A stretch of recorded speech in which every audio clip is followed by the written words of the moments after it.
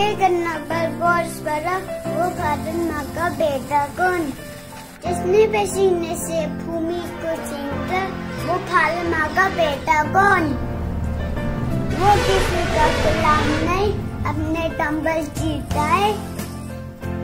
सफलता का एक कनी से लेकिन अनमोल, जो मजदूर कहलाता है। अभी